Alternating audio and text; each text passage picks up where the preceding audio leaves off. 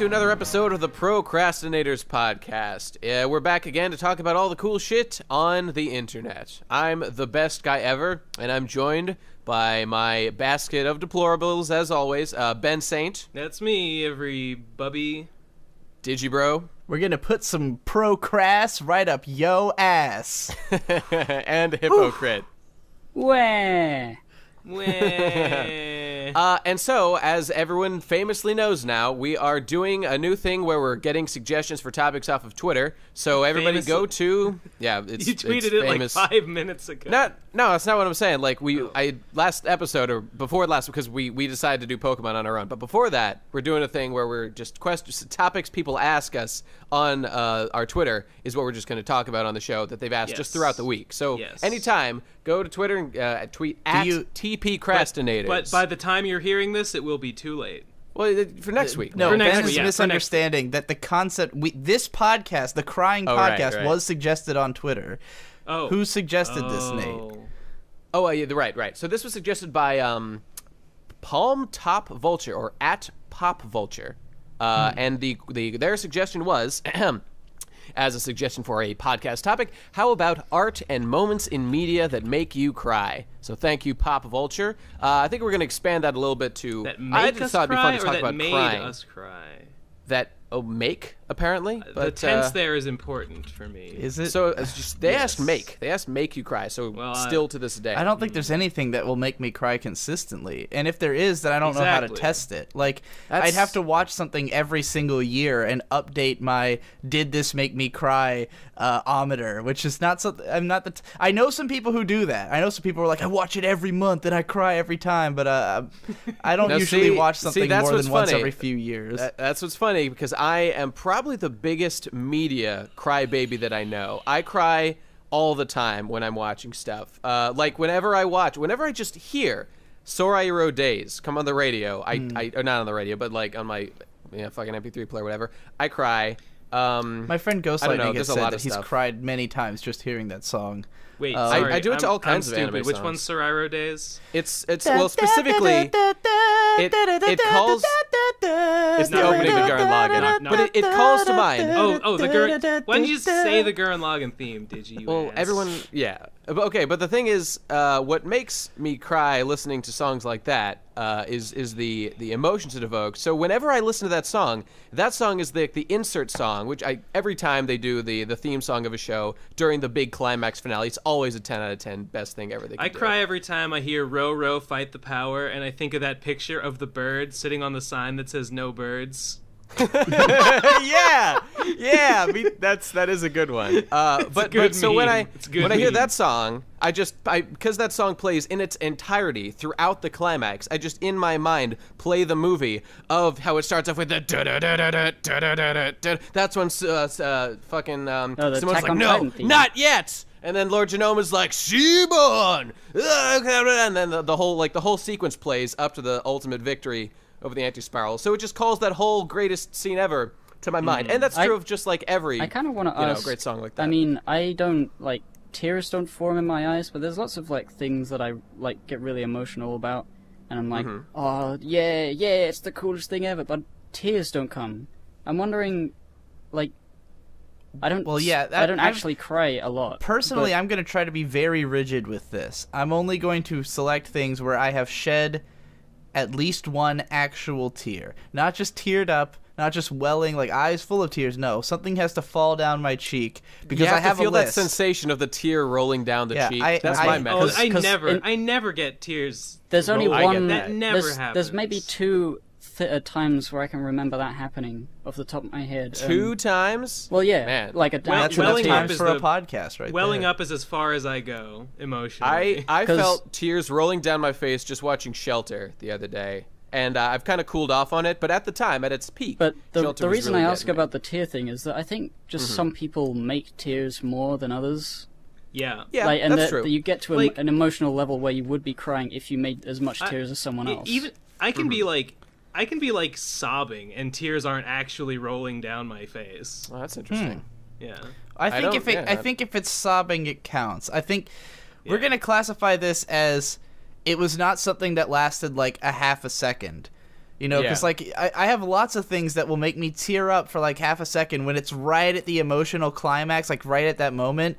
But Mm-hmm. then you know the second it's over, it all just dries right back out. you- and, you know the and, and problem- you know, it's not there anymore. The problem with you guys is that uh, I'm I'm a golden god, and you guys, all your tear ducts are clogged with all that fat, all that fat fuckery is just filling up that shit. They can't squeeze them through. That's your problem. It, Hit the it's- treadmill, it's- my friends. You want it's- some healthy you, crying. You got you got to be a vegan like that guy in Scott Pilgrim. Yeah. you know, Yeah, like, that's like right, you, you know you know how most powers. people only use ten percent of their brains is because the other ninety percent is all full of curds and whey. Yeah, that's true. So yeah, it, it seems pretty clear that uh, people 'Cause- have different like degrees of their crying yeah, capacity. it, it's it's Yeah. it's it's something that I've got like rolled eyes at like people like oh you don't cry? Because I don't often, Mm-hmm, but it's it's mm-hmm. like I don't literally tear up, but I do get emotional about things, and people always say oh you're just you're just pretending to be tough you fucking loser, and I don't like uh, that. it's like I want to like say, that- for mm-hmm. for the record, I also don't don't cry much, which is why, like, I'm being so strict about it because there is such a small, tiny pool of times I have shed actual crash the tears that I literally have a list. I have a list of every individual tear I've shed while consuming media. Lol, so. Jesus Christ. I'm- well, that's interesting. I'm gonna go I- through it in the course of this podcast. I could I could list too many to name. So uh, I, I I really am a big crier. I cry a lot when I when I do all Well, kinds of media stuff. So I- there's no point in going through my list. I could list. bring up It's one long. that a lot of you might also agree with, which is the ending Okay. of Toy Story 3. Oh yeah. Lots of well, which part on that one. specifically? Because there's I Andy's part, and then there's the think- death I- it was- It's the think bit- I cried at the ending of Toy Story 3. It's the bit near I was the one of end, uh, where Andy's giving the toys away and he's like, "Oh, Yeah, that's the one. I'm I'm That's the 17, but I still sort of care about How do these for I, some uh, reason. But I'm giving them to a little girl. Where's I'm the- saying goodbye forever." And it's like, I don't know. Everyone that- gets their little moments when when he's just like, "This is Ham. He's is like the, the evil Baron." Oh my God! Lightning I want your dark His heart was souls. brave and pure. Dinosaur, it's a lone dinosaur. I hope you're recording this, Jesse, because this is gold, and the people are gonna want to hear it. Well, I'm glad you're here, Jesse. We were just talking Yeah. about how we wanted you. What are we? What's the topic this week, gents? crying. It's, topic- it's media Cry. that's made you cry, which I know you have Oh. basically everything. Oh boy. Let me tell you people about crying. You know, old Uncle Endless has been doing a lot of that lately. And uh Yeah. and, you know, but by by lately I mean the last 27 years. So I I've got a lot of material for this one. I've cried a thousand tears, and I'll cry a thousand more. I have Oh, in, yeah. I have both on video and in person witnessed Jesse literally crying while describing something. Uh, I know it, it happens in the Batman versus Superman video when he reads um reads that passage from that Batman comic, and I believe you shed an actual tear that glistened in the light of your of your uh, basement. That glistened in the light of my yellow room. An actual the golden a, gleam. a yeah. pea-stained tear rolling down Yeah. rolling down my jaundiced cheek. and and I could hear that you were crying in the the the second panel cast when you described the Spider-Man Yeah. uh, scene. Yeah. I, I cried. Um, I cried twice in that panel cast, and I cut one of them out because it was it was too much. One of them. Jesse and me, I think, are birds of a feather when it comes to crying. Uh, we, we seem more predisposed to, to this kind of uh, gay activity as opposed to you guys. you know, I have um, It's the most straight over thing in the world. I agree. over time I have I mean as a kid I always didn't want to cry and that's still Mm-hmm. sort of true like I every time tears come it's like it's unnatural it's unusual I don't I'm not used to this and I try and stuff it back even though I'm alone It's true. I feel that. I feel. I feel like kind of weirdly self-conscious about it. When it when it happens, I'm like, is this right? Is this right? Yeah, I know what you mean.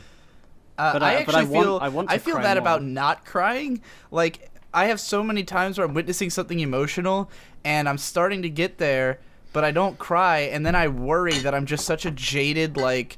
Like, Yeah. like like that that I've I'm so broken that I can't even cry at anything, and I, mean- have a I I mean- have a real legitimate jealousy of Jesse's. Like whenever I see Jesse feeling something so strongly, I'm like, why can't I feel anything that strongly? Why can't I feel? Oh, why am I so oh, numb? Oh, it, I've it's, it's a it's a that. gift and it's a curse, buddy. Let me tell you. Yeah. It's it's my I- burden. I'm sure I wouldn't want it if I was on the other end when it when that pendulum I think- swings in the other direction? I think I, I You know, I I might be like the most Sorry. emotional person I've ever met in my life, and it's a it's a terrible, terrible thing. You know, that's funny. I actually kind of feel guilty. I, I also second guess myself like Ben uh, when it's like, is this right? But the thing is, I'm usually already crying by that point, and I'm just kind of like, oh, am I.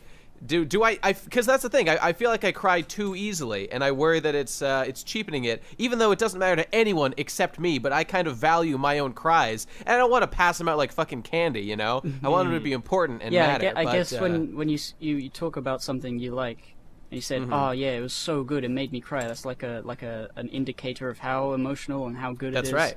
And if you cry right. at something that you're like, "Oh, I guess I don't really care about it, but I cried," so A man's the saying? tears are like a woman's vagina. They need to only be shared with the public on very rare occasions, or else you're trash.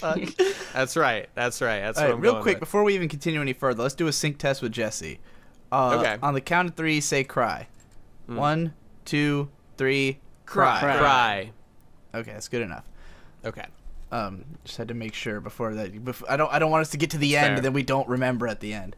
That's Uh, fair. So, all right. Well, we've talked a lot about our like philosophies of crying to media. Mm-hmm. We need more actual examples. We know Nate cries every time he hears the opening Well- theme of Gurren Lagann. I do Um, every time. Oh, also the one where um, you know, like there's what there's one in the middle of the episode where Simon becomes a man when uh when he finally you know sacks up Oh, in yeah, yeah, episode yeah. eleven. That one too. That one One too. where Nia's behind him and he's For got the a, cross. for a on him. recent That's right. example, That's right. Um, she ba da ba ba ba ba da ba ba da Shut ba up. ba ba ba da da da da da. All right. All right. Um, for a recent example, um, uh, the the show that we watched uh, for Plebe and the Weeb, Planetarian, got me pretty Oh, close Yeah. once or twice there. I, yeah, I remember. That I kept looking over it, well-crafted, and uh, emotional narrative. I kept Are we looking gonna over go and on seeing about ones Ben that and Jesse. almost like, made us cry? It was the fucking closest was- that I've had in a while. Well, you know- okay. Okay. All right. All right. Well, Honestly, it looked like Ben was crying. I don't know if there was any tears, but I kept Mm-hmm. looking over at Ben and Jesse who were losing their shit, and that's why, for for there anyone were who there doesn't, were there were some tears welling up, and my lip was quivering. You know. Yeah. That- that's Okay, That's, all right. for anyone who That sounds doesn't what know why for. we ended the plebe and the weeb that way, because it was because it was such an emotional episode, and we had just been watching Baby Cake's Diary number two, which is Hmm. the episode where uh, you know Baby Cakes and his dad and his granddad they all just like break down crying after this like this huge like it's this this crazy emotional turn that the episode takes where they all start singing and crying and they just destroy everything in the house and burn it down, and we all thought it was like the most emotionally poignant expression ever. So after watching is. this this show, we were all like standing around talking about how feelsy it was. We were like, "Oh my god, the emotions! Ah, we can't take it." And I was like, "What if we just unleash and we just like break everything in the set, just like in Baby Cakes, and it would be the perfect expression of how emotional this show made us feel." Um, though it it ended up being portrayed more that we were all mad about me uh, not giving the show a high enough score. That's true. Yeah, it didn't qu- it didn't quite have that baby cakes pathos. Uh, No. But I mean, what does? no, nothing True. does. True. I can, So okay, I- let's hear some well, more. Oh, sorry, uh, Gib. Go ahead. Oh, Gib turn. All right. Uh, uh, well, uh, the the only other one I can think of off the top of my head, there's probably more, um, is the ending of Okami. I don't know if any of you have played that. Not Yeah, I I hated the ending of Okami, but, But I uh, let's don't- hear. I'm here, interested in your reason. Remember the well, ending very the well. the the ending was like you go through the whole world, of, the whole of Japan, and then you Mm-hmm. save the world. But then Okami has to to leave forever, and he never and Right, she never gets right. to come back. and You mean Isn't- Amaterasu? Yeah, Well, yeah. I think she's the god Okami is a wolf. pretty cool guy. That's you know kind what? of what. I well, just whatever. I think of Okami literally means great god, which is what she is. So technically, She's that's appropriate. great. okay.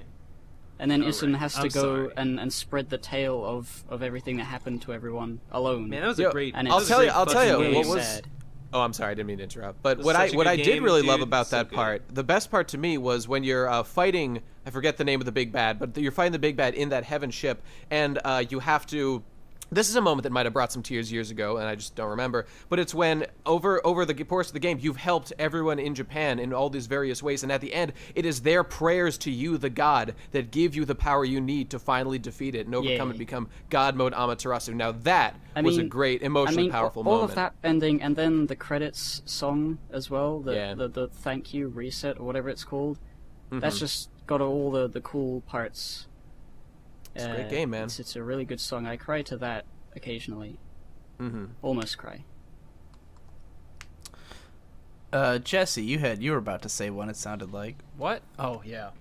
Um, you know, I don't know. There's there's a lot of like, like I could name like a million movies and stuff and like things that video games that make me cry. But what really always, just just really opens up a hole inside me, just like r- just rips me open and destroys me all the time, is just when I think about my friends. Not you guys, my actual friends. The ones, Right, of course, the ones course. that when I hang out with you guys, I feel guilty about not being around them, and I resent you guys Mm-hmm. a little bit for even being a part of my life. You know? We're enablers, yeah. Yeah. um. Yeah. So like, uh, Go, go- where we where are we going with that? Jeff? just I just I just I just really wanted to confess how much I hate and resent all of you. Okay, but, um, Okay. uh, Jesse, No, I, like- I hate to say it, nobody gives a shit because this is about media that makes I don't cry. give a so nobody fuck. cares about this your. is our media, and it's gonna make everyone in the world cry when they hear it because I'm Hmm. connecting with my audience like I always do because I'm the best guy at that. Damn you, Mm-hmm. you know, fucking you. You what? Fuck. I hate them. Sure, so- sure. Okay, all right, that's fair. This is a media. This show makes sense to me. No, it's terrible. Oh I'm yeah, a every time I listen to the Procrastinators podcast, I well up a little inside. Um, Thinking in my about that, case, my it's of life has become this. Yeah. That's yeah, right. yeah, and it's a bummer. no, it's You know- it's- I really, I, I really have a lot of sentiment inside me for the people close to me, and it really, it really makes me a, a wreck if I if I if I dwell on it too much. Like uh, you know, like I'll like I'll have some friend, or you know, and she's like going through a breakup or anything, and she's like all crying, and, and I'm just like trying to help her, and I'm just like trying to tell her how much that she means to me. But then just saying that is making me cry, so now I'm crying harder than her, and it's like, who the hell is supposed to be cheering up who at this point? And so then I'm the hmm. weirdo, and so then I gotta fucking, everyone's judging me, so then I go to a party, and I, I'm the fucking guy at the party crying. Nobody wants to be the, the, the crying guy at the party. Nobody wants to be sitting there crying into another man's birthday cake, and everyone's Yeah. fucking, no, no, sir. No one, no one came there looking for a reenactment of the day the clown cried, but they got it. You know, uh, that's really that's interesting, Jesse. Uh, you seem like a very empathetic person, uh, and it, it's it, it amuses me. Or this is something I've been thinking about a little bit. Well, it, it does. It does. Uh, well, that's actually kind of the thing, because like I've been thinking lately, how you know how I'm all about like I'm I'm a I'm a futurist, and I want the I want humanity to succeed and go to the stars, and I want all these things to happen. like- you fucking Yeah, I'm, sociopath. I'm in the middle of an emotional breakdown at a party, and I'm crying. I'm, I'm, I'm losing my mind, and Nate's like, "Oh, amusing." Uh, that amuses me. Well, that, I- I- all right, it does. Uh, because I was just thinking about how uh, I want all these things for humanity. Maybe and I- interests I, would have been a better word than amusing. Yeah, okay. or it, it does interest me. It, it, it makes me think of something else that relates to me, which is cool. Uh, which is just how I I don't give a shit about people on an individual level, basically at all. Uh, like I'll see people and I'll just I'll hate them. I'll just hate them for no reason. when like I, I want the best for humanity, but I Well- just hate everyone. well, I want everyone dead. Nate, let me let me Yeah. let me respond to that. I I feel the same way a lot of the time. You know, I feel Mm-hmm. all misanthropic and like, oh, I hate people and I hate everyone, and you know, I get frustrated at people a lot. But I always, like every single fucking time when when I actually come to know someone, I always think better of them than I did That is true, when I that first like saw them and got my you know initial impression. Was like, oh, this person's just this, this person's just that, this person must suck in these or that ways. And then I'm like, I'm always, I always change my mind. So I Could this try, be a I try to keep it in mind. I try to tell myself like, don't judge that person. You know, you would like them more if you got to know them. You always do. but like. uh, it's it's it's you it's- know just it's- my, my it's- natural a inclination ma- is to be like a- oh fuck that guy but yeah, That's I a try very to, I try mature point it. there, Ben. I It's a try to very fight mature it. point. You know, it's try to funny it. because Mm-hmm. much like with the like what we said about crying earlier, where I said I kind of like feel broken because I can't cry as much as I want to. I Yeah. feel similarly about like other people where like I ass- I kind of always assume that everyone's great.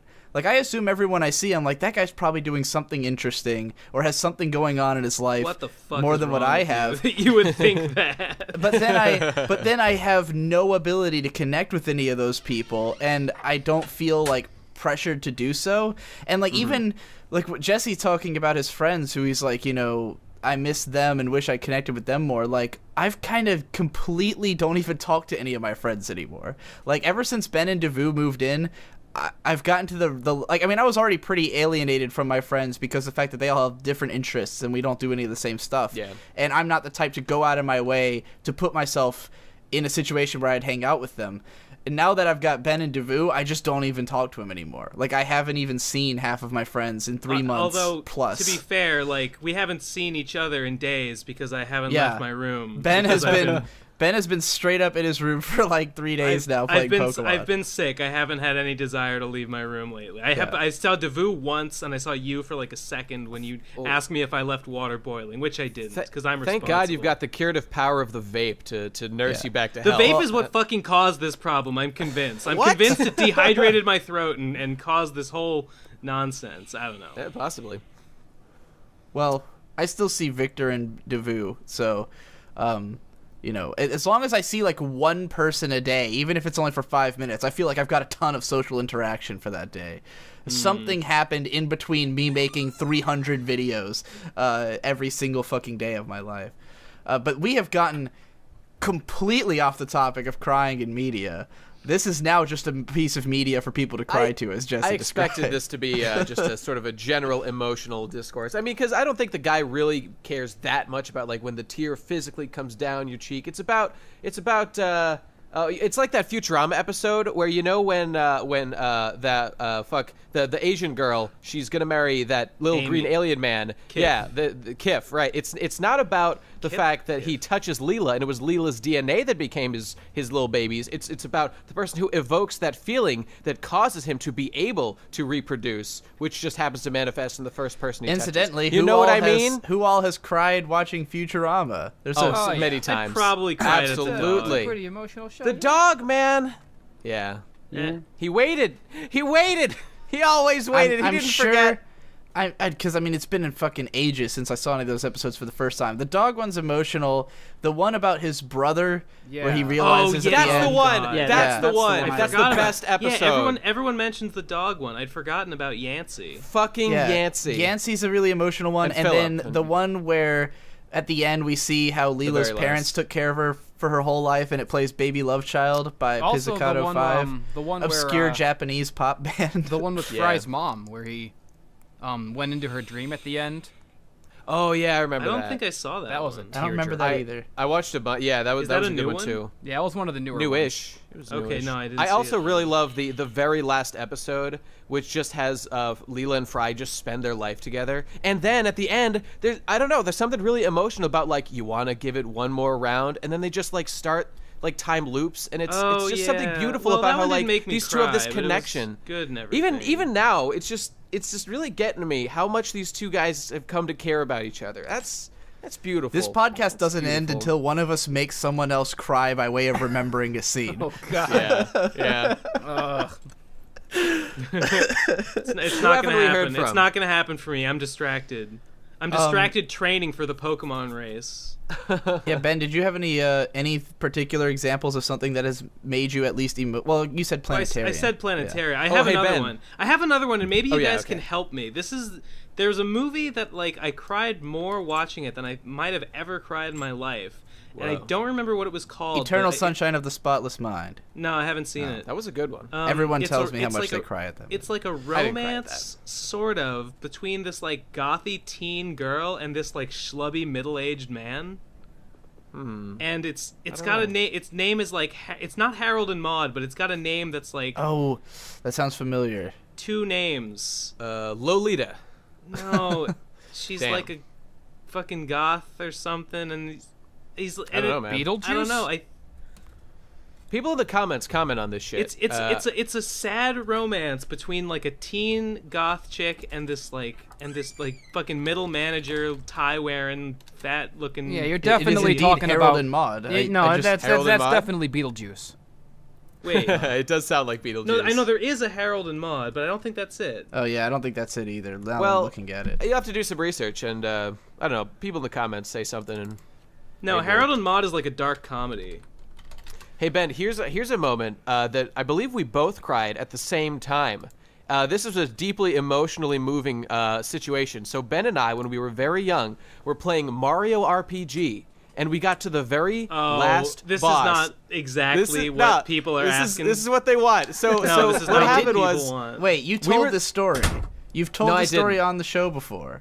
Wait, I really? remember. Fucking, who I don't No, I- who care who cares, Digi? Go on, Nate. All- all right, tell so the was- people what they want to know. I, I will. I'm sure somebody wants to know now. Uh, so uh, we're fighting the very last boss, Smithy, and at this point, th- we're we are babies. We are not s- veterans. This was like Right. one of our first so, RPGs. So I used I used Mallow. He has an ability Yes. that shows you how much HP the boss has. He had Psychopath. Like, he had like no HP. He would have died in one hit. If I had One attacked hit. that turn, One he would hit. have died. And then the guy fucking summoned boulders or whatever like twice in a row and just wiped the whole party. And we'd been trying we to beat flipped our shit, We've man. been trying to beat that boss it. for so long. We've been playing Yeah. Mario RPG for like, oh man, we fucking cried and That went that ballistic. 40, that that 26 HP he had left is burned into my mind. I'm never gonna forget. It might Yeah. it might have been 46, but it was one of our, those two. our dad got really upset because the game made us cry. He thought he Yeah, was mad at the yeah. game for doing that Yeah. to us. Yeah, I remember Banned this. video, man. Why? Why did you tell the story before? Maybe it was about parents reacting to video games negatively. It- Yeah, You maybe. definitely told it before, though. I might I might not have been there for that, but whatever. You, how could you not have been there? You told the story. it was I thought, you. well, I thought you were saying Ben t- told it. no, Okay, you well, told whatever. this story before. well, whatever. They heard it twice. Okay, let's move on. That was a joke anyway. I didn't want to dwell on it. Uh, uh, I, has everyone gone except Digi now? Gib, did you do one already?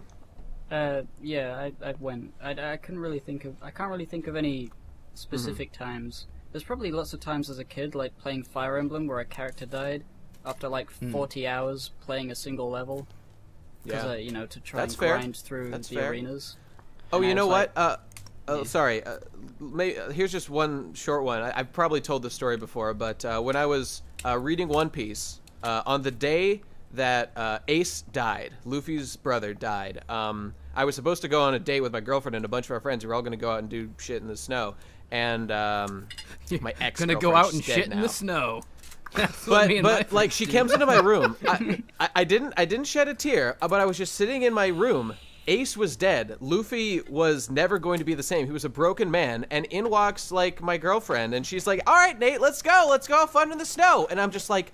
What the fuck? Are, uh, my friend, my friend just died, and you want me to go play in the fucking snow? And she did not understand what was going on. She did. I explained it. Look, Luffy, my my my buddy Luffy, his brother just died. I can't fucking go on a date right now. And uh, she just was like, she was so mad at me for so long after that. She did not get it. That's why I hate you, Lauren. You're the worst person I've ever known. I hate you. I'll never forgive you for what Oh, you did to me. Oh god, cut this, please. I'm, I'm crying right now. you monster. How could you do it?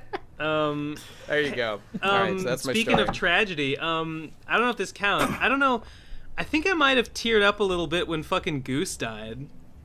Oh, really? but his not- uh, his lovely Rowlet. Yeah, uh, my well, evolved it was a yeah when when Monkey killed my my fucking uh flight Aw. commander flight or no flight lieutenant Goose. Look, it, it's not that it wasn't actually sad. I think I was I was much more angry than I was sad. That's okay. I think I might have just just just had like fucking tears of tears of like just frustration and like hating myself for having for having you That's- know that's just, fine. I went That's through, like I a went through the, I went through the stages of grief like so hard. I was like, no, it's it's he's not really gonna gonna gonna kill Goose. And then I was like, okay, he but like it's not it's not it's not really that bad, you know. Like Mm-hmm. and then like oh but but.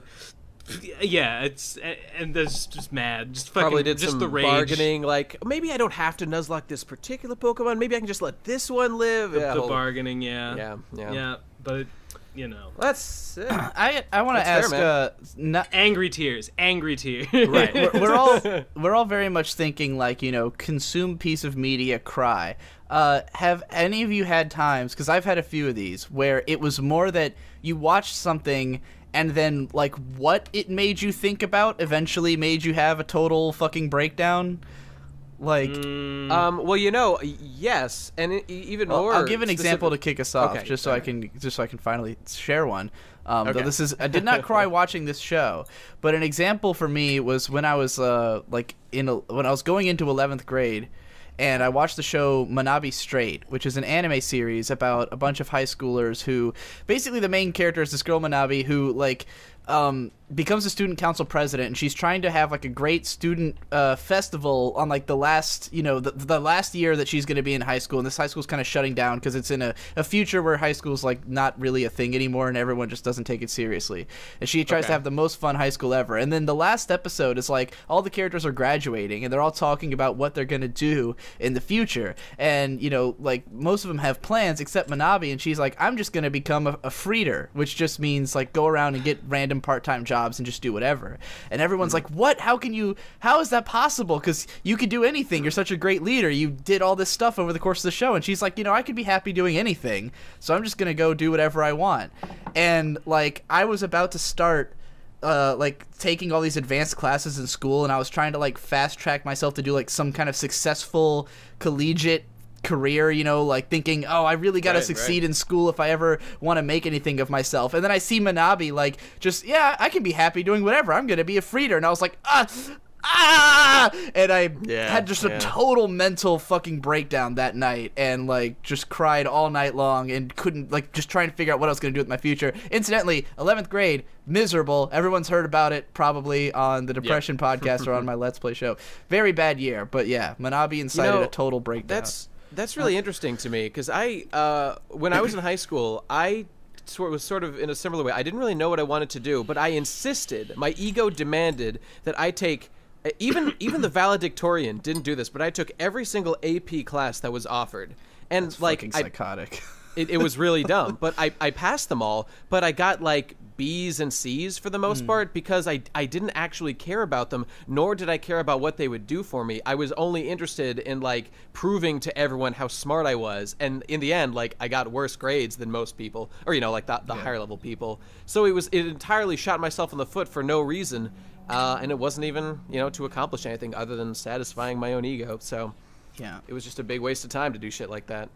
And living living your life like her and like she just wants to be happy. You know, you, you don't need all this extra bullshit. This is this is kind of tying into the whole school thing. You don't need these diplomas. go listen to. Procrastinators, Ask, ask Kanye. School Sucks. I was gonna say Uh, go listen to uh, fucking uh, the college dropout Right. and uh, and shit.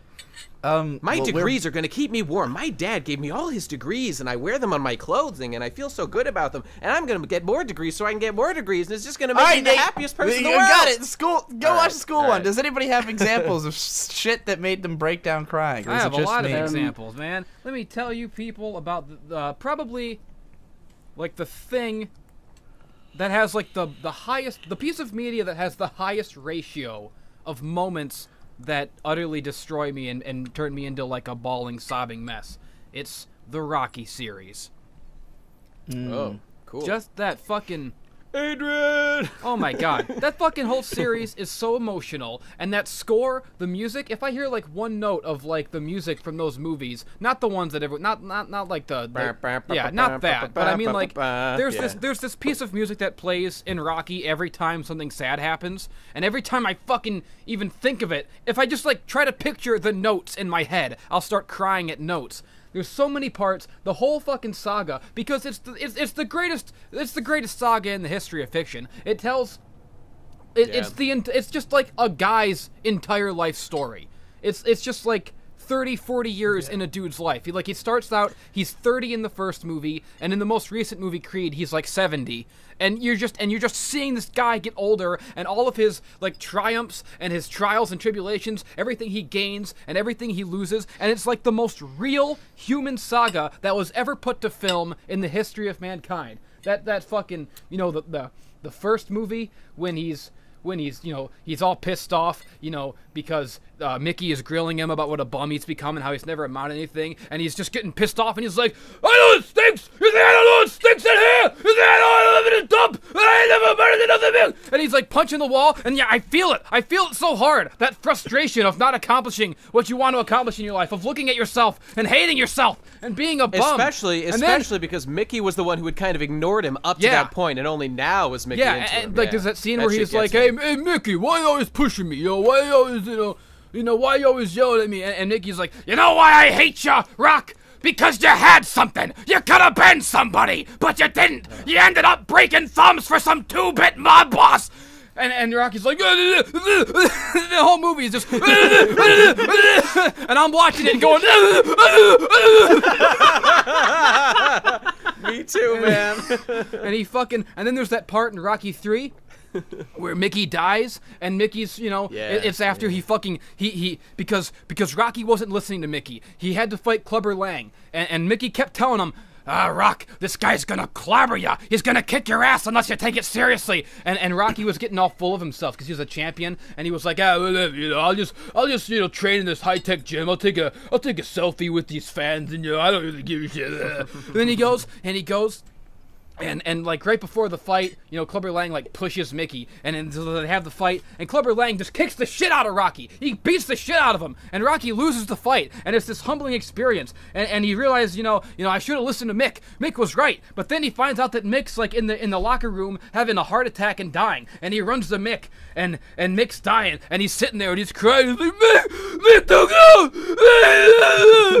you can't even understand what the fuck he's saying because he's fucking Sylvester Stallone and he has too many emotions. Sylvester Stallone has the same thing that I have. He has too many emotions and he's got a half paralyzed face and it's this perfect concoction that makes him the greatest actor of all time and it makes him, you know, the like something about Sylvester Stallone has the ability to convey emotion on a level, on, on, a, on a grand scale beyond what any other person in the history of mankind is capable of, and I, and it connects with me, and I feel I have a I have a spirit bond with Sylvester Stallone, and when I see him sad, I get sad, and I feel everything he's feeling, and and and mix and Mick's like. Oh, did you do it, Rock? Did you win the fight? Did you win the fight? And he goes, Yeah, we won. He's lying to Mick. He's telling him he won the fight. And then Mick dies, and it's the saddest fucking thing ever. And then in Rocky 4, when Apollo Creed dies, he gets killed by Ivan Drago. And, and you know, and, and Rocky, he, you know, he has, he's, he's gonna throw in the towel. He's gonna throw in the towel for, for Apollo. And Apollo looks at Rocky, you know, Apollo, his old enemy, who's become his friend through the years because they've, they've had so many battles with each other that, that, that they're like, they're, they're the original Goku and Vegeta. It's Apollo and Rocky. And, and you know, Oh they're friends now and and, he, and he's watching this fight. He's watching Apollo Creed get his ass kicked by this fucking Russian Superman super villain Ivan Drago. He's got the towel and he's like, hey, I gotta throw in the towel, Apollo! And Apollo's wife is there and, and his wife is like, Come on, Rocky, throw in the towel! What the fuck? And Apollo looks at Rocky and he's like, Don't you throw in that towel, man! Don't you do it, man! He's got too much pride. He's got that warrior pride. He won't let Rocky throw in the towel. And then Apollo goes down and he dies! Fucking Ivan Drago just punches him to death. And he dies in the ring, and, and and Rocky finally throws in the towel, but it's too late. Apollo's dead, and then he has then he goes to Apollo's funeral, and he's like, hey, you know, you know, uh, Apollo always did things his way. and then and then you get to Rocky Five, and it's like the worst movie ever. Rocky Five is a it's a piece of shit. Nobody likes it. It's, it's, the, it's the bad one. He's, there's this guy called Tommy Gunn, but even in the bad one, there's great scenes that make you cry. There's that fucking part, you know, because Rocky can't fight anymore. He's got brain damage from all the punching he's he's had. If he gets punched anymore, he'll die. So he can't he can't box anymore but he's trying to relive his glory. He's trying to train this up and comer, Tommy Gunn. And Tommy Gunn is a huge dick, and he's taking advantage of Rocky's kindness. And he's going off with this other promoter, and he's just being an idiot. And, and everyone knows it. And everyone can see it but Rocky, but Rocky doesn't want to see it because it's all he has left. It's all he has left. He just has to, to train this guy and so he can live vicariously through Tommy Gunn's success. So he's fucking trying to fight him, and Adrian's yelling at him. She's going, God damn it, Rocky! Don't you see? You fucking he's taking advantage of you! And Rocky's like, God damn it, Adrian! What do you think? I'm stupid? I know! and, and, and, the, and then there's just the fucking there's that part where where Rocky has that flashback. He's he's got a flashback to like th- to where he was younger training with Mick, and Mick he gives him this uh th- this uh, little crucifix. No, not a crucifix. It's golden gloves. It's, it's silver gloves from like some boxing thing. He's like, I don't even remember what the fuck it is. But he's like, hey, you know, uh, you know, Ro- Rocky Marciano gave me this back in the day, and now I'm giving it to you, Rock. And and and and and. And so and so Rocky's remembering Mick, his his his dead mentor Mick. And in this flashback, Mick is giving him this speech like, uh, you know, you, you, you know, Rocco, uh, sometimes when you get older, I, uh, I think nature is smarter than us, Rock. I think we get older and everyone around us that we love, they all die, Rocky. And and you look around and you ain't got no one left. And you says to yourself, what am I still doing here, Rock? And and then and then so I want you to have this. I want you to have this. And and and I, when you look at it, I want you to hear my voice and it's gonna be saying, "Get up, you son of a bitch." 'cause Mickey loves you." And then at the end of the movie, where he has a street fight with Tommy Gunn, and Tommy Gunn is beating him up because he's got brain damage. He can't fight anymore. He's getting headaches and like migraines in the middle of his fucking fight. And Tommy Gunn, he Tommy Gunn beats up Paulie. He beats up everyone. And but so so Rocky's down. And but then he he has that flashback and he remembers the voice of his old mentor Mick. Get up, you son of a bitch, 'cause Mickey loves ya. And he gets up and he punches the guy. He punches him with his fucking feet and fists. He punches him with his feet. he doesn't care. He's out of control. He's this is a street fight. There's no rules in a street fight. You can punch with your feet. And then you get to Rocky Six. Rocky Balboa, where he's old as fuck and he can't even fight anymore, and the boxing commission won't even let him box anymore because he's a, fucking dinosaur. He's a thousand years old, Yeah. and, they say, and he has to go before like the tribunal of boxing, the old wise men who control the boxing industry, and he's and he's got to like plead his case. And he's like, hey, yo, you know. Yeah, Don't you guys ever have something that you always wanted to do that you never wanted to do, and you feel like it's your last chance to do it? And they're like, "Oh God damn it, Rocky! You've moved us to tears. We're gonna let you fight, even though you're even though you're a fucking ancient wizard, and your bones are as brittle as fucking as as cookies, uh, Santa Claus cookies." And Merry Christmas, everyone. and then he has. it is a Merry Christmas. It is a Merry Christmas. He fought Ivan Drago on Christmas Day. That's right. That's right. Does he fight Ivan Drago on Christmas Day to save us all from sin? Oh God. And in the last movie, Adrian's dead, and and and he fucking, you know, he talks to he talks to Paulie. There's that scene. It's not even in the movie. It's a deleted scene, and even the deleted scenes are are an emotional fucking uh, maelstrom. Where he's talking to Paulie, and Paulie's talking about Adrian. He's like, "Oh, Rock, oh, oh, you treated a good Rock. I treated a bad. I don't want to remember." And then he's, "Oh, fucking Rocky." And then there's the fucking the new movie where he's he gets replaced by a black, and that's the saddest part of all. where, where now you have to watch a uh, bunch of movies with some black guy, and Rocky's probably gonna be dead in the next one. Rocky gets cancer in Creed. He gets cancer, Oh, and is, and he has to fight cancer. You know, he's fought Ivan Drago. He's battled Apollo Creed, but now he has to battle his strongest boxing opponent of all, cancer. And he and it's it's a beautiful saga, and that's my favorite. And not even just Rocky, also Rambo. The Rambo series. Sylvester Stallone is a fucking machine for emotion. He's an emotional fucking it's not good enough for him to make one to make the, be- the just the one most emotional fucking journey of all time. He had to he had to make Rambo at the same time. All the Rambo movies are amazing. The first fucking Rambo movie at the end where like he he breaks down and he's talking about, you know, how how sad he is and how he's got this PTSD. And then the second movie where he meets he meets Ko and and he falls in love and she teaches him that he's not expendable. But then at the end of the movie, you know, he he says, "Murdoch, I'm coming for you," because he found out the government used him. They used him again. They don't care about the soldiers. They just use you up and they throw you away. They just and then in the third movie, it, it, uh, the, the third movie is not very good. But then in the fourth Rambo movie, the fourth Rambo movie he finally goes home to his family at the end. It is also another thing. And speaking of how the government they don't care about the soldiers, the Metal Gear Solid, the fucking oh my god, oh. Metal Gear, you are my best friend. Have no fear. I am your godsend. If I had to choose between Meryl and Metal Gear, Meryl would lose. Three cheers for Metal Gear. Yeah, Metal Gear's a But good one. it's I my duty to kick some real booty, beat down the baddies. Metal Gear. What the Gear. hell is this uh, song? That's my That's- that's, that's my the Metal dun- Gear dun- song dun- dun- that. I've, that I've been singing for years and never told anyone about. that's what I that's what I sing to myself. I scream sing that to myself to ward off the tears so they don't overtake me. Whenever I have an emotion, I start thinking about the Metal Gear song, but it reminds me of Metal Gear and makes me cry even harder, so it's a worthless song. Sensible strategy. Oh my god, the fucking part in Metal Gear Solid uh, where Sniper Wolf dies and she's talking Oh, about yeah. that's like, oh man, that's a beautiful thing. You, we're dogs of war, but you, you're a wolf. Ugh, you're a wolf. Ugh. Oh, oh my god. I love your handkerchief. It smells so when good. fucking when when Liquid Snake is, is killing Gray Fox and, and he's like, in the Middle East, Oh, no. we don't hunt foxes, we hunt jackals. And Gray Fox is like, I carried foxes might teach you instead of jackal, you cocksucker. And he shoots Oh, at him, man. and then he dies, and then he gives that speech, and he's like, Snake, we're not tools of the government or anyone else. You gotta fucking get up and you gotta get a boner and you gotta fuck the world by your own standards. How how beautiful was it that, that Snake took that message to heart and started philanthropy with Otacon Yes! to fight against Ah! the evil corporations trying to fucking kill us with machines. Oh, yeah. God. What a- what a Man, remember when remember when Tommy Wiseau shot himself at the end of the room? Ah, that you all betrayed me. that was fucking point poignant. That was, Dude, it was I- so I it's so sad you have to laugh. time. It's too sad for tears. It's true. you can't.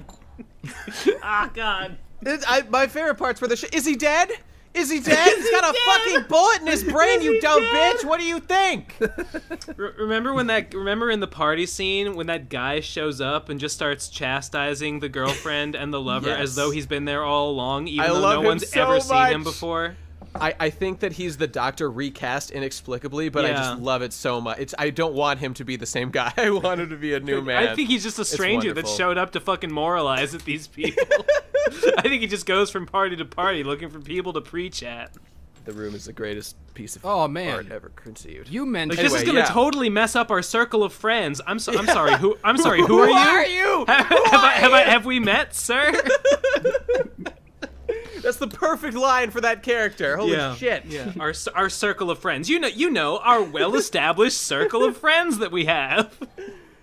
Oh my god. Um, Well, I'll tell you what's a shit. what's a tearjerker. Another one. Yeah. Since you mentioned the Doctor, man, good old Doctor Who. Oh, boy. Every fucking every season of Doctor Who, like every four episodes, there's there's got to be one that just that just wrecks everybody. It's the, the the Doctor is such a great man. He's such an emotional oh, hero. Oh shit! He's a, I remember that. There's another time I cried. It was it was when Rose got trapped in the the alternate dimension. yeah. forever. oh With that no. cool music playing.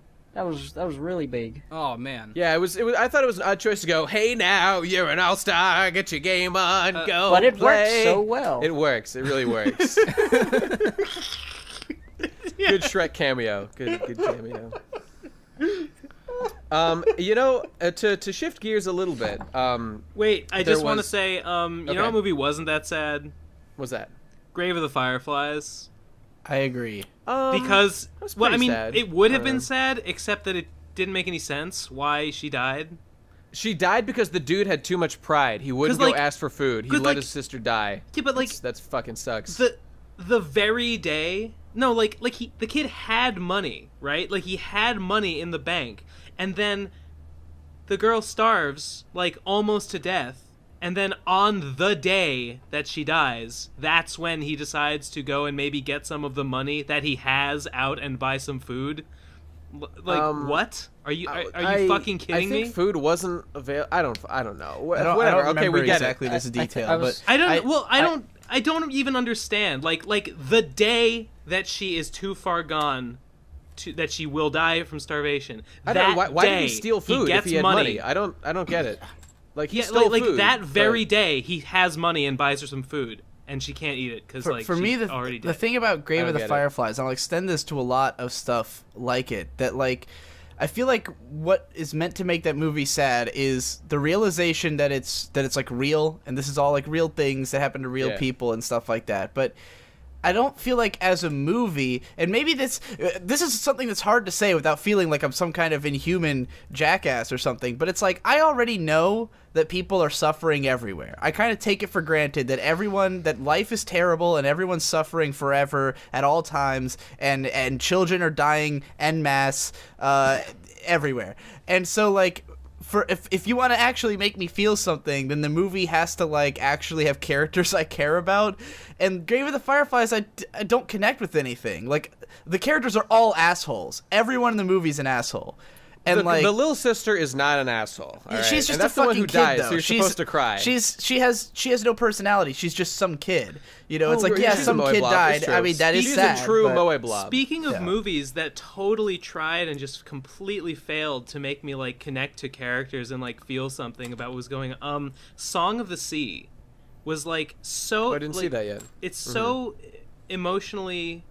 I don't know, like it, it, it strives for this big fucking grand vision, and there's this big emotional scene at the end where oh the girl or like the the mom has to like take the like she wants to take the daughter to like the spirit realm, and oh the spirits, all the spirits have awakened, and they go back to the spirit realm, and oh the mom is in the spirit realm, and oh the daughter's got to go to the spirit realm, but mm-hmm. Um it sucks, it's fucking gay and it sucks. You know that's interesting uh, because the, the, the one they that's made all, before that's that. basically all I have to say. The- the one they made wait, before wait, the- that- The, studio's Okay. the studio's previous movie, Secret of Kells. Secret of Kells, It, it's yeah. not. It's not. It doesn't. It's not as tear jerky, but it, it's.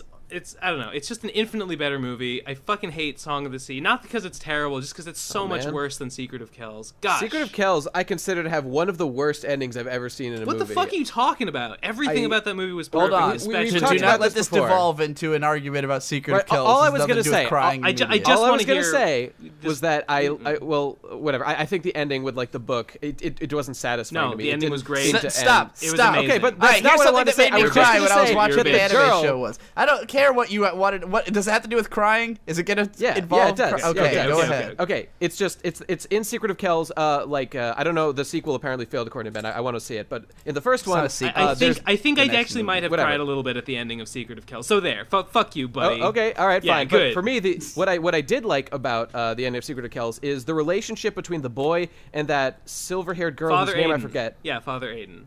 Father? No, no, not him. Um, I'm talking about the girl in the woods and the kid, Oh, Brendan Ashley. or whatever.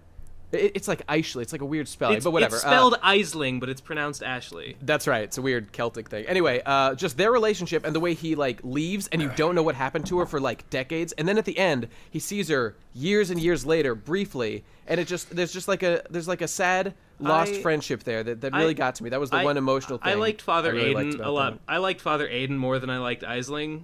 But Mm-hmm. whatever. Yeah, it's great. It's great. Alright. It's a great fucking movie. And Song of the Sea just is just fucking empty in comparison. In But All right, I'm gonna humble try to. I'm gonna try to go through these as fast as I possibly can. Okay, please, go. I'm gonna go through all the animes that made me cry. I have a list of the exact tears I've shed during each show. Christ. So You the keep first, them in a little jar. Uh, yes, no, I, I well I actually made I made a post about this back in 2009, and I'm looking at the post right now so I can keep track of you know the older ones from back in the day. Cool. So all right, the first tear I ever shed watching anime, apparently according to this list, is from the anime series Kanon, which is this Mm, uh, sad girls moe show where everyone fucking dies. The part that makes me cry is that the, the like the main character Uh. is staying with his cousin and her mom, and her mom gets hit by a car in like episode 22, and she's just like this cool side character who's just a super lovely mom who's uh, awesome and she's the best mom ever, and she gets hit by a fucking car. She doesn't die, but there's like a, a scene where her daughter's like all emotional over it, and uh, got one tear out of me. Uh, right, tier number tear. two. Okay. tier You've got, number One two. out you've of got 10. tears of tears. yeah. All right. Tier number two, the ending of Eureka Seven. Holy Yeah, shit! that's a good one. It's so fucking beautiful. And in tier number five, which we're, I'm skipping to because it was also from the last ep- no the, the previous episode of Eureka Seven. The last two episodes have made me cry, but on different times watching the show.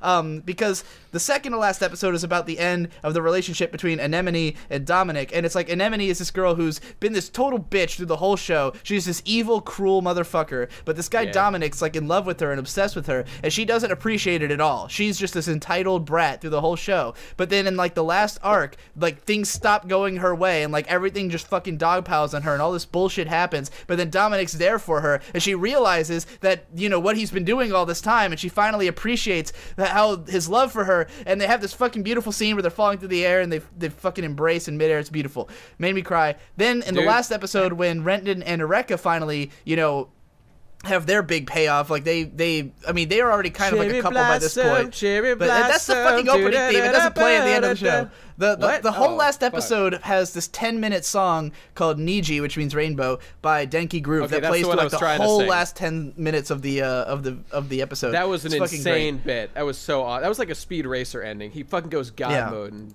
save his bitch. It's a little rushed, but it is beautiful nonetheless. I'm sure he would describe it. In As, as a pimp, he needed to reclaim his property, and he did it. Um, anyways, tiers numbers three and four were apparently shed during ef: A Tale of Memories. I don't remember what scene because it doesn't list here what scene made me cry. So I, I just know that Oh, happened no. during that what show. What a shitty list this Uh, is. yeah, and then it says uh, th- this the last entry on the list is tiers number six, seven, eight, nine, ten, nose run number one, and choke up number one. all happened Oh, at Christ. once while How long is watching. this uh, list? This is the last one on the list. Uh, Okay. All happened at once while watching good. Clannad. Uh, episode nine of Clannad. Yes, Clannad, the crab with testicles that we all know and love. Uh, in episode 9 of Clannad, then there's this girl called Fuko. She's like this little girl who it turns out is a ghost. Holy shit, the crab with testicles! I remember Yeah, the that's- crab with that's testicles! right. Yeah. Yeah! Good job, Jesse. You did it. Yeah. Yeah! we did it! It was your own show. you did it for you guys. I've, I've, So what I happens have, to the crab? Did you? Over the years, I have received, I have multiple times received like fan art of the what people imagine the Clannad is, the, the crab with testicles. Um, So what happens to this crab ghost? well, I'm- okay, I'm it's ready. not a crab. It's just a little girl. She's a ghost. All right, that's that's And- your What do you mean Uh, it's not a crab? All this time! well, anyways, the little girl like she she just like her sister's getting married and she just wants to be able to like see the wedding uh, and she'll be able to pass on to the next life. Aw. And so in episode nine, there's like they do the whole wedding scene. It's just it's just so like the way they directed it and animated it and everything is just so fucking emotionally you know manipulative that. It, Sure. It was a huge. It made me cry like crazy, even though I didn't care about the character or anything about the show. It's not even a good You know show. that, that sounds that sounds almost as good. That sounds almost as good and similarly emotionally resonant as this uh, this one hentai I watched about a ghost who couldn't go. She couldn't pass on until she got fucked real good by one dude, and then she did, and she she felt at peace. It was great. I bet I've seen that. So to, to just follow have. up because that list was from 2009. I've had a few more times I cried. Another big one was another show from the same guy who wrote Kanon and uh, and Clannad, which was Angel Beats. The last episode of Angel Beats because. Oh my god, that one's so fucking emotional because the whole show takes place in purgatory and it's like all these fucking kids who are like trying to figure out why they're there and like how to move on. And then the last episode, it's like most of the whole cast has already moved on from purgatory. There's just like five characters left and they've basically resolved all their major issues and they're just like having like one last like uh like goodbye. They they literally stage a graduation. They all meet up in like the auditorium of the the purgatory that is high school and they uh they, they each of them one at a time gets up and like gives their graduation speech and it's all fucking emotional. And they you know they vanish after they give their speech. So it's like you're literally watching the characters one by one exit the show to go to heaven. Oh my god it's so fucking emotional. Um that's a, that one definitely made me break down really fucking hard. Um, and then some more recent ones. Uh, the, the most recent time that I cried, apropos of nothing, was watching K-On! and thinking about Hypocrite because it was it was after we had I, I've- I've probably told this story before, but uh, at least to you guys, it was after we had met up at BronyCon in 2014, I guess, and it was like everyone got to go except for Hippo. Yeah, no, 2013 then. No, yeah, 14, whatever. In 2014, 14, right. everyone met up. We all went to BronyCon except for Hippo, uh, and it was like I realized because we had this, we made up these little memes and stuff while we were at BronyCon, which have still survived with us to this day, like the Lord of Shit Mountain, little things that we were just giggling about Double like all night long. Yeah, and. uh Double Batman was the next year, I think. That was the year Hippo was there. So Was it? Yeah. Oh, shit, Lord of right, Shit Mountain right. was the first year though, and like we just kept like all night staying up, like saying Shit Mountain, and then we'd all giggle for like ten fucking minutes because we're idiots. Um, but we had all these memes and stuff, and it really reminded me of the scene in K-On! where they go on the school trip and uh, they're all just like laying in bed at night, and they keep going like lycopene and then they all laugh and then one of them's like Sherikobe and they all laugh. And it, it, then, then it comes up later in the show and like during the most emotional moment in the show in episode 20 when like the band has just done their last performance and they're about to like you know this is the last time that they're ever going to do something major together again and they all just break down crying at the realization and then like Ritsu to try to cheer everyone up says lycopene and they all start laughing while crying. And oh my god that scene absolutely makes me cry every single fucking time i watch it. Um as does the ending of season one now. Basically, all of K-On! makes me cry now because the more I think about it, the more emotional I get about it. But this, the scene that, that got to me out of nowhere was because, you know, I, I made that More connection like between us. cry and- on. Yeah. Oh, true. like you know i'd made that connection between us hanging out and and that scene but then I'm watching the show and I'm halfway through season one and Azusa shows up, who's you know the the youngest fifth member who joins the crew later. And I suddenly like upon seeing her, I suddenly remember that in that episode where they were on the school trip, she wasn't there because she's a grade lower. They all went to Kyoto and they had this great time, but meanwhile she was stuck back at home and she was just hanging out with her like underclassmen friends. And so she had this other sort of adventure that was going on with her friends and she, you know, has her own little stories from that, but it's obviously less interesting. Um, and Hippo at the time had been at this like uh like this camp for retarded kids, I guess, and he cleaned shit for retarded kids or something. Yep. And uh Yeah. and he had been doing that and like he had said, you know, it was it was a it was a good time on its own, but you know, it was not the same trip that the rest of us were on. And like I remembered all of that when I saw Azusa and I was like, "Oh my god, it's the same." And then I just fucking lost it and I was crying like all day. I all I could think about and I was just like like babbling to myself, "Oh my god, hypocrites Azunyan. It's so chaos perfect." Dude. Um and it, it didn't help that I think the reason I was so emotional is that I was like hopped up on painkillers because this was after I'd broken my foot. So I'm like laying, Oh, yeah. I'm like laying in a chair watching K-On! like half half asleep, like just downing oxycontin and crying my eyes out thinking about Azusa. Uh, and then yeah, and then I cried at like every major episode from then on. Um, and then K-On! became my favorite anime of all time, officially. Interesting. Interesting. I've, I have. Uh, I've heard some- that story a whole bunch of, of, dang times. I think I Yeah. cried at the end of Shirobako too. I don't know if I shed a whole tear, but the scene where, oh, th- I hope you. Does anybody care if they get spoiled for Shirobako? Is anybody? I not- do care. I I've don't want it. to be spoiled. Though You- it's been a long you time, haven't so I wouldn't fucking really seen it, blame you you. nerd. I am working on it. I got a lot of Uh, shit to do. Uh, I want to talk about it though. Do you? Uh, can you cover your ears for like one minute while I freak out?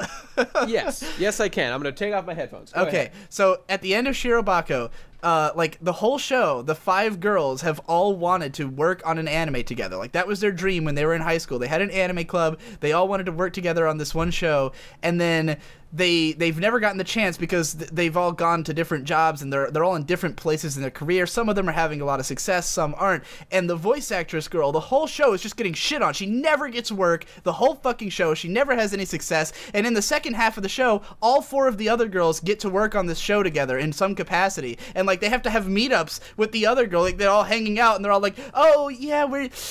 You we're kind of on the show too, and you know, the voice actress girl's just like, yeah, I, I understand, you know, it's it's hard out there for a voice actress, and they're just like beating down on her the whole show. But then they like the whole second half, they're like talking about rewriting the script for the show, and then it turns out that they end up writing rewriting the last scene of the last episode where they're going to have them go to this like uh to meet one of the main characters in the show they're making to meet one of her like her little sister. And so the voice actress girl ends up getting to voice the little sister and they all like find out at once and like they bring her in and she gives this really emotional performance and she's like crying because she got to be in the show with Are all you her good? Are you- friends. are you done? No, I'm Are still going. And then Okay, fucking right. Emma, who's the animator, she gets to done, animate. Emma gets to animate the scene that she was voice acting. Shut, Jesse got to go on for 15 fucking minutes about Rocky. I could talk oh, about Shira Yeah, Baka he, for he, parts used up it. all the fucking goodwill. He used up all the goodwill I have. Ben, you have had no contribution to this so far, so I'm going to talk And about Shira My contributions have been concise and pointed.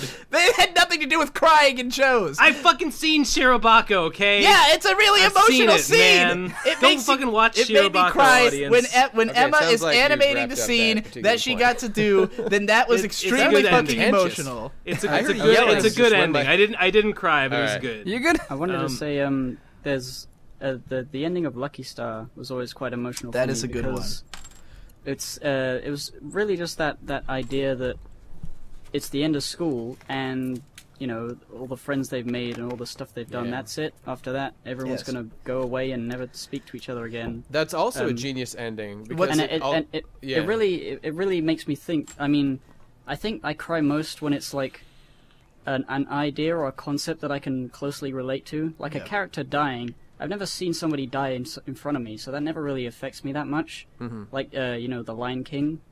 I can't really relate to that because I, I'm not a lion, and also, I've, it- and I'm not bit- African, I'm so a I can't hippo, Yeah. double not a relate. lion. Lions attack hippos. Yeah. I can't relate. That's to that. true. it's- No exactly. empathy. But um, I was thinking like if there was something like one of my worst fears, well, not, not one of one of my worst fears, but if there was like a, a character death from the perspective of somebody who just didn't know, because I've had nightmares, or rather just like I've waken, I've, I've I've I've cried in my sleep to to the idea of just coming home one day. And then, uh, like my brothers or my parents just not coming home because they died, and I just didn't find out about it. And if if that was in like a TV show, I would cry probably there. But like things Mm-hmm. where it's like all dramatic and there's music and there's like, oh no, he's dead. You know, it's, Hippo, you're I bringing just- a tear I- to my eye. oh, no. I just I can't I can't relate to things like that, and I don't cry so much. So if it happened, if it's sense. happened to me, or if it's something I fear, Uh, then I would cry more. go back to Lucky Star. Uh, that scene where they like reminisce about Konata's dead mom. That's Yeah, I pretty was gonna emotional. say. And the funny thing about that ending of K or of a Lucky Star that you described, that like it's all of them graduating and like this sort of emotional thing, is that it always works, and yet every single one of those shows has done it. Like Lucky Yeah, Star right, has that's right. that. Uh, That Hidamari was just the sketch has elements I've of that. seen, like, an Azumanga anime like that. ends that way. Uh, K-On! ends that way, obviously. There's no other way high It's school really slice of life can end. It's so Manabi perfect. straight. Yeah. It's it's not even that I had a good high school experience. It's just that I was starting to make one or two friends at the end of high school, and I was like, oh, I have to start Right. again. I'm not So knocking. the- basically- I'm saying like even though they all do it, it always works. Like every oh, single Oh, yeah. one of those is an Right. emotional ending. Even when the show wasn't like Azumanga Daioh has like a surprisingly emotional climax for a show that was never emotional. You know. It's kind of hard to avoid being emotional when like it's the end of you and all your buddies. Like you reading it, you, they're like your friends. You know, Tomo Yeah. and the well, like because my my friends in high school, like any of the ones I kept talking to after high school, like by that point we didn't see each other in school anymore. We only saw each other outside school because like mm-hmm. most of them Yeah. are people. Because in Japan they stay in one class typically for like three. You know, you, you have a lot of the same people, especially if you're in the same grade range. You know, and of course anime will you know skew it so everyone ends up in the same class um, or they're all in the same club or something but you know for me and my friends it was like by senior year nobody was in classes with me or half of them had dropped out so you know Hey, Uh, before we move I on from Lucky Star, ask- let me just say how genius that ending is. In that the the whole like performance that they're putting on is the opening that we've seen every episode. Yeah. Fucking genius, love it. Um, I just want to ask about the school system in America. I don't really know how it works. Do you have Alright. like a, a class of people that uh, you stay with throughout the school time, or is it just like classes it's, based on? it's all just based on you you move 'Cause- between 'cause classes in, in every, the U- every in the UK we have like tutor groups, or at least my school had tutor groups where it would be a group of people, and we had a name, and we stayed in that class the whole way through. But when we get into different subjects, we we would be in different classes. Like if we chose German, we'd be all with all the. It- it studying changes every year. in, You in get a new school, homeroom you, every you have year. a homeroom, but Yeah, like you don't stay with them through the day. Yeah, it's just like where you go. I mean, it's that's it's Okay. almost uh, it's almost completely because like I remember in in uh, I mean in elementary school we were in one class the whole time. In middle school I remember Mm-hmm. homeroom meaning something, but like in high school for me it was just homeroom was just whatever your first class was. Like there was no we didn't go to a homeroom, Homeroom every period day. was totally pointless, and I never understood why they Well- even bothered. well, did you guys have an A and B? Did you guys have A A and B days? Like We had like A B. What- what we you had like a six day cycle, I think. In holy our high shit, how the fuck does I that mean, work? I I don't know. Yeah, don't- yeah, we no did. idea. I mean, Or- for my no, no, school, we it was you took five-day. four classes on one day and then four classes the next day, and they were all totally different. So you did not go to the same room at all two days in a row. So the thing that's that's remember. different about uh, the UK is that um, we have like middle school, uh, middle school and high school combined into one, and then also a few uh, years added on at the end. Mm-hmm. So if you were to go start at like year seven and you would go t- through to year twelve or thirteen, you would be with that one homeroom or tutor group for many years, Oh. and it, Yeah, it's- nothing it's- like that here. It, feels kind of similar to the way Japanese things happen. Well, that's cool. Uh, but hey, I way. wanted to kind of bring things in a different direction. If, if are you done, Gib? Did, was you anything else Yeah, you were yeah. going to say? Okay, I'm done. Uh, I was just going to ask about, and this might be something interesting uh, to talk about from a from a crying perspective, specifically since we're all content creators. I don't know about you guys, but I've on many occasions, well, I guess not many, but on several occasions, stuff that I have been making has made me cry, kind of on an Oh intellectual God. level, as I just realized. Now, well, it's I, maybe it's because like I'm I've so I have such a at penchant editing to Where, use where I like, thought you were going music. with that is I thought you were going to say I've got lots of comments that have said they cried watching my videos. I was not No, expecting no, who you cares about yourself them? to I, I don't care about them. Yeah. Oh, well, Yeah, well, I, mean, the comments too. People do say Okay. that. I've, I've not Okay. cried at my own videos. I, ever. I Never? have, I have never. I mean, I have gotten really emotional in various ways about my own stuff. I've Mm-hmm. not crying. Like usually, crying is not a feeling that I like. I don't know. It, it doesn't just like spontaneously well up inside me. I guess like when I'm Mm-hmm. the stuff that I'm working on is not like that. I don't know. I, I guess I was. The, the closest is Brunswick. Yeah. Brunswick's a, kind of a tearjerker, you know. In, in yeah, a but I didn't way. like cry making it. You know, uh, like Right, right. sadness and was not the feeling in me as I was producing it, even though it Your was like tablet made. got all malfunctiony with Pe- the people say, I mean, some of the best, yeah, people say that Brunswick makes them cry sometimes, and that feels great. I love that. Mm-hmm. Um, people, when when people told me that they cried at the end of Nuzlocke Genocide, that was like one of the proudest moments I've Aw. felt. I was so happy. No, it wasn't. No, it wasn't the end. Or it was the- the it was the second. uh, it was the penultimate episode. Yeah, yeah. Because I mean, I really tried to go all out and make it an emotional moment, and people were like, "Your fucking Nuzlocke Let's Play series made me fucking cry, dude." I was like, "Yes, I did Yep. it. I did the impossible." I, Um, uh, so that was I- I think beautiful. Go on, Gib. I, I was just gonna say I don't know whether I would cry even if I deliberately tried to make something emotional like that.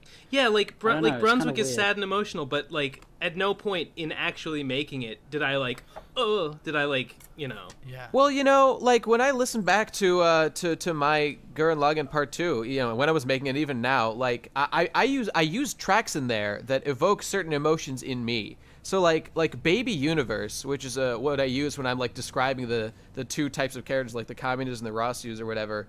Uh, and then later on with the um like the the next song is uh from Bravely Default. It's like the the finale song, and, and like that's like the emotional climax of the video. Like I, I use that song because it really gets me. So you know, j- kind of just through a, through the fact that I I steal I steal content from other people and use them in my videos. I kind of get to experience the same mm. emotion as other people. If I had made. Yeah, the song, I feel maybe. I wouldn't feel that way. But you know, I yeah. The brave little toaster. You know, Yeah, I think, I think that when I think that it's I hard like that to one. you're cry. worthless. I mean, maybe Sorry, Ben. some of the ideas behind an, a work that you're doing might make you really emotional. Like, See that that's what I but, really but, but wanted the, to get the at with actual this. making of the thing, I, I don't think I would ever be in danger of that happening. in Like- danger. Never. Like, the fucking no, like I don't know, just when when you're seeing the actual sausage making process. You know, just like like making a thing and experiencing a thing are just so fucking different from each I other. I cry when I think about how long it took to make these things. yeah, that's true. When I think about how when I think about Yeah. how far behind I am and how much I hate myself in my That's life. right. yeah, yeah, I get really emotional about my Now- own stuff in that sense. the, the one I thought would be most likely to have experienced this was Jesse. So, Jesse, do you ever cry when you're making or watching your own work? Oh boy. Uh, Like that, uh, like the wrestle, the wrestle boy, you know, toast for the douchebags. oh yeah, yeah. That, that was a- one seemed like it might. Mm, I don't know about watching them. I I don't know. Mhm. I've been, been fucking. Oh man. Jesse hates It's his a- oon work a little too much for that. I think. No, no. Yeah. I, It's thi- It's a I just different think sort of that, feeling. I'm uh, ooh, doing this podcast has opened something up inside me. I'm having trouble. Get trouble that demon out. here. Do you feel a tear coming out of your eye? Oh, and another one falling from my other eye. um, I'm sure you all know what the intro for this podcast is going to be. Yeah. Yeah. Cry Raindrops like keep a falling man. on No. my head. um, And just like Son the of guy whose feet are too I don't know. big I've been- for- I can definitely write things that, like, while I'm writing them, it's bringing, like, an Yeah. emotion out Yeah. of me that I hadn't confronted yet. And, like, while I'm putting it on the paper or the fucking WordPad document or whatever, it's like, while I'm writing it, I'm crying. or scribbled on the bathroom wall in my own feces. you know, however the writing process takes me, right? Yeah. Like, I've, yeah. I've been writing a thing recently that's been making me cry a lot the whole time. I've just been. Oh, cool. It, it's not for public consumption, though. It's a private thing. But I've been Mm-hmm. writing it through. Through like just a veil of tears. I'm writing. Is it it that tear fan vision. fiction about Ray playing Smash Brothers? Because that Donkey seemed like it would It's not a fan probably fiction. It's, evoke those emotions. no, I've yet to finish that because I know that. it'll be too emotional and I'll have to kill myself. Yeah. You know, uh, I'm glad to see that uh, you're not a man who only appreciates Asuka like a lot of the Asuka fags out there. You're you To Yeah. to as well. to jump in on this, uh, You know, this it's uh, question. you know who I also um I think a lot about Misato and I think a lot about that one scene in particular where she's just like coming to terms with the fact that Kaji's probably dead and she's crying Yeah. at the kitchen table. And that little, like, just that like piece of animation of her like crumpling at the table is like so raw and real to me, and like yeah. I always think of it, and I wrote a little song just to that piece of animation because it's always in Whoa. my head. And so one day I started just singing, and what I ended up singing was the song "Desperado" by the Eagles. Yeah, but yeah. it- but instead of Desperado, it was "Hey Misato," and Oh, whoa. and it stuck with alright. me. And this is like I've always thought about making this a video because I I do this all the time where I'm like pacing around my room and I'll just start thinking about it and going, "Hey Misato, why don't you come to your send?" And I'll just start crying like an idiot. You're out Because- because it- yeah, 'cause it's so fences. fucking- Wait a minute. Yeah, that's The- such a great song. Wait, song. the Dark Souls song? What? No. Yeah, nigga, fucking Eagles. And Orlando, why are you such a cocksucker? Top to bottom, motherfucker. Well, like, it's not even- Not much It's, it's not even like a, it makes me cry because I'm sad. It makes me cry because it's so stupid and silly that I've like that I've I've ruined this scene in this show because whenever I see it from now on, I'm gonna be thinking about the fucking Eagles. Wow. I hate the fucking Eagles. Oh god. You know, Stupid stuff's the coolest stuff. it's odd because I'm, Yeah. I'm thinking like I'm racing through all my videos in my mind, trying to think if there's any like that I've made that would make me emotional. But it's odd because I have a, I have some videos that people have told me make them cry, and I have ones that are definitely more emotional. Like you're gonna carry that weight, the Cowboy Bebop video. Um, Sure. You know, people have told me that made them cry, or some of the more personal stuff, the like S4 Diary stuff from the Pony days and shit like that. Um, and like, but I don't know. I feel like I go out of my way to undercut emotions in my videos, like where I I I tend to go more for like a numbness when I do get emotional. And if you watch my stuff philosophy like the is, if I have to feel it, then god damn it, you're all gonna feel it too, you sons of bitches.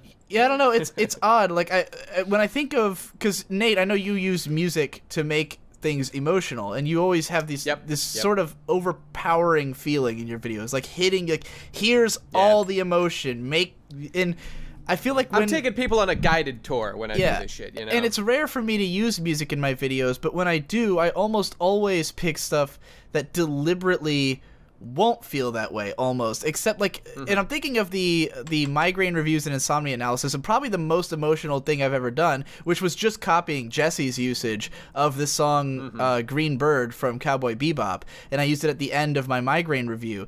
But like all the music used throughout that up until that point is all like depressing songs but have this very like numbing jaded kind of depression and like that's sort of the way i always present myself is like I don't usually try to say like oh I, I'm very emotional right now it's more like I feel dead and I feel like I wish I could feel something I guess this is that's what this whole podcast is this has been my stance this whole podcast is I wish I could feel something but I'm just so fucking dead inside and I, I feel so neurotic and broken that I don't I, I'm like struggling to I- eke an emotion I out have of a something similar sort of feeling that I feel. I don't feel like I'm dead inside. I just feel like I, I want to be able to cry more. I want to be more emotional because it seems like, you know, it, maybe it's a it's a curse, but it it it results in a lot of cool things. yeah. Like I'd I'd probably be funnier if I could be more emotional.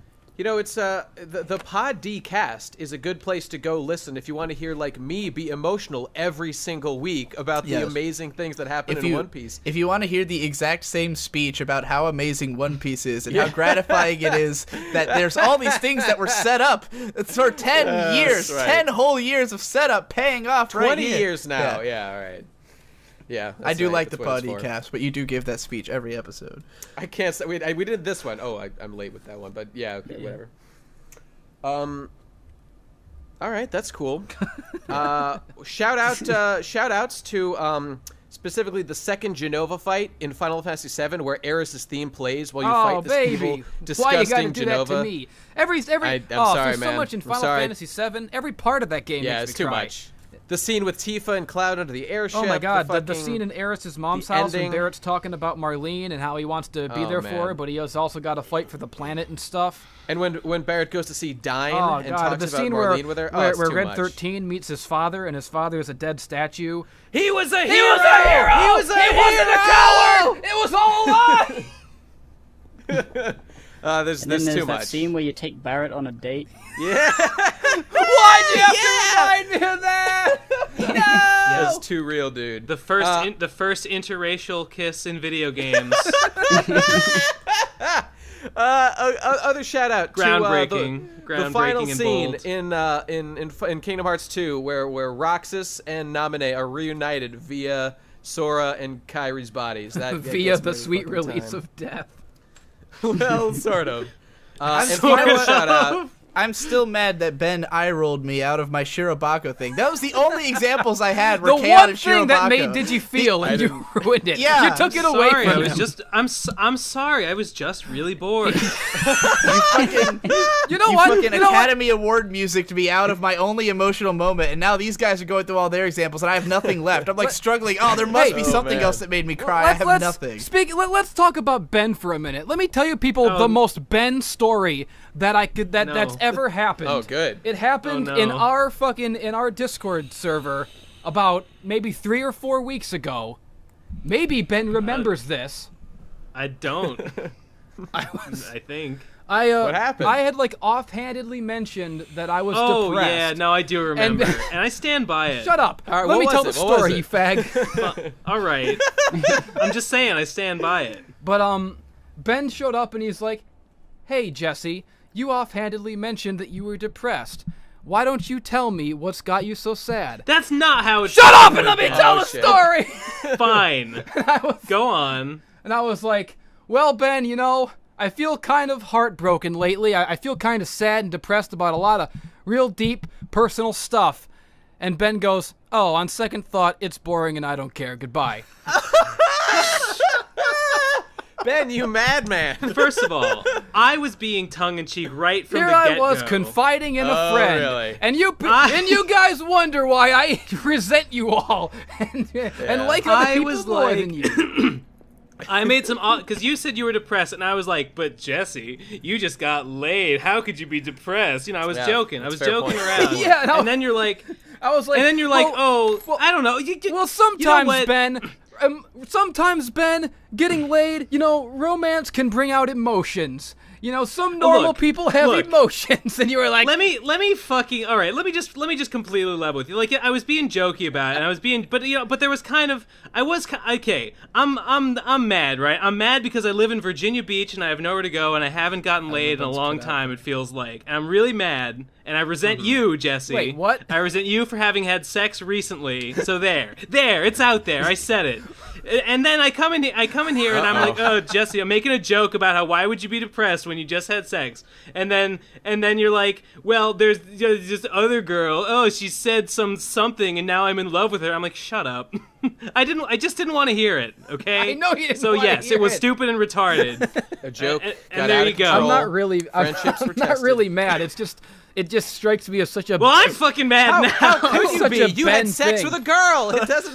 of course not. I've had sex with. You know what? If you guys are gonna be mad at me every time I've just had sex with a girl, then I guess you just always hate me because I've always. I was had trying sex to keep I was trying to keep my resentment fucking bottled up and buried deep inside, and now it's going. Now you're making it bubble God up. damn it! you're boiling This that is it. kettle. Okay, let's you're all just, let's all kettle, just unzip each other. Let's all just let it all out. No.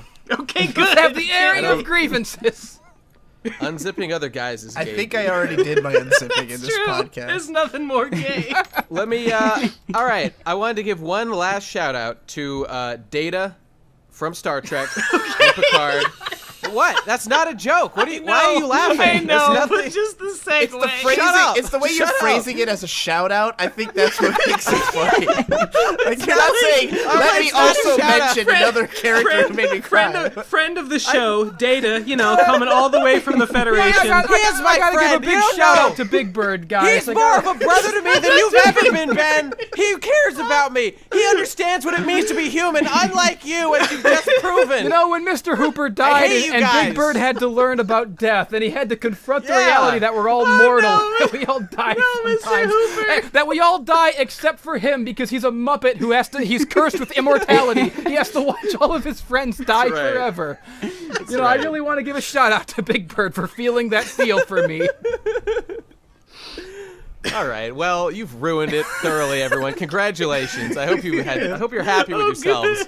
This is Uh, the best okay. Does anyone have any ever. last?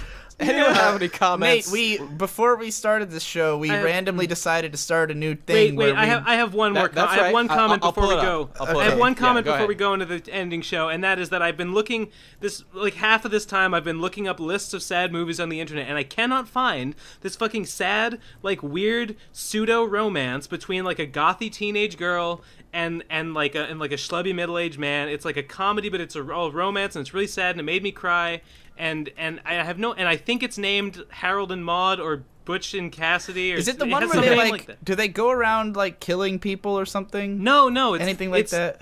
No, no, no, Okay. no. It's just like uh, if anyone knows what the fuck I'm talking about, please tell me in the comments because I really want to remember what it's called now.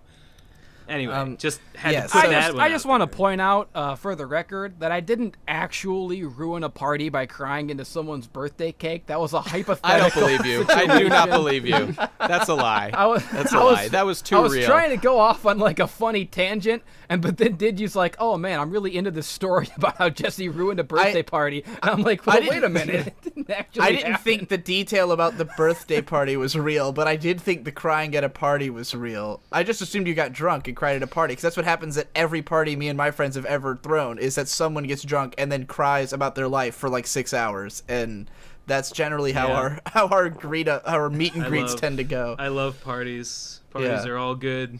Um, They're all fun. I'm not All right. referring to like party parties. I'm talking about like me and three friends hanging out and drinking. That's what a party means to me.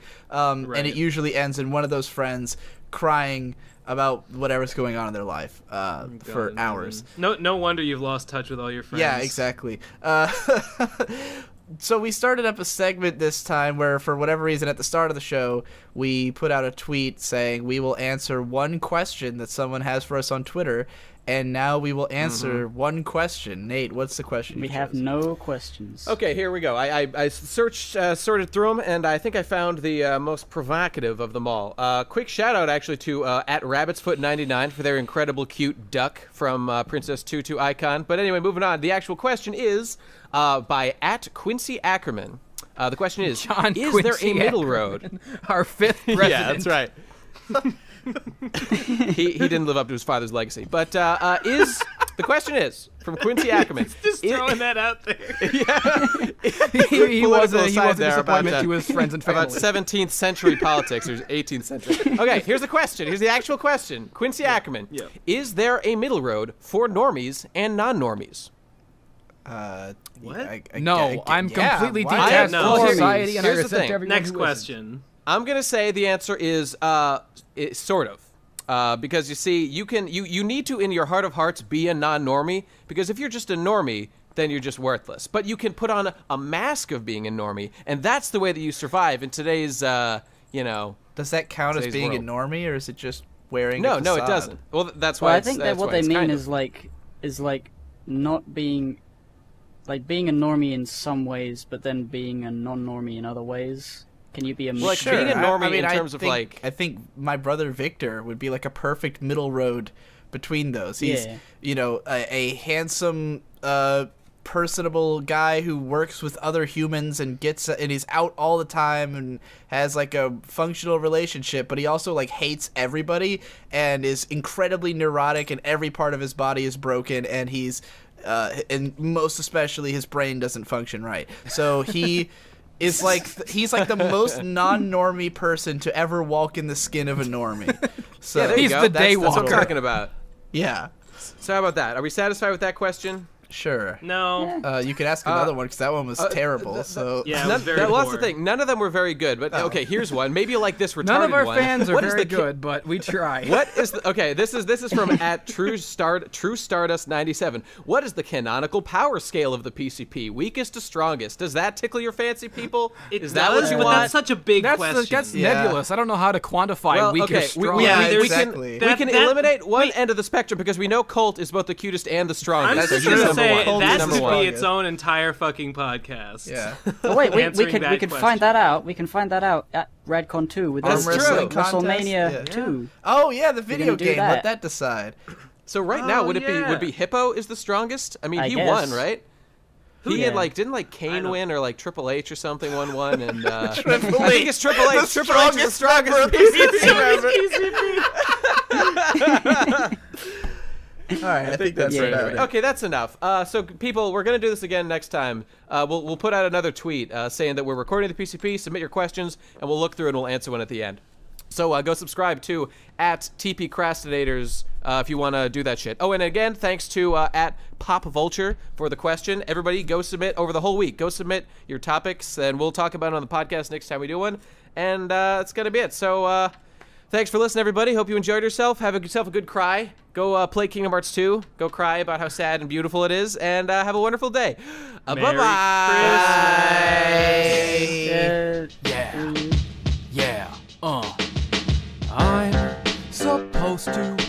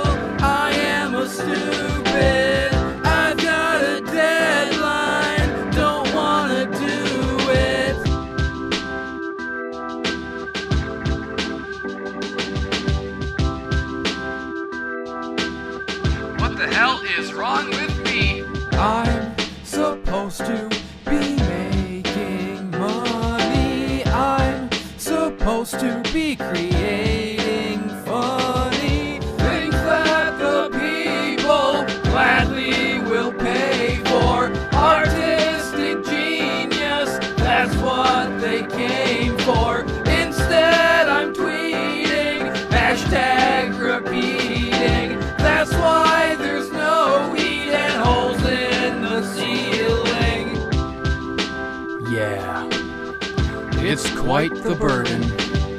It's a hard knock life being a genius.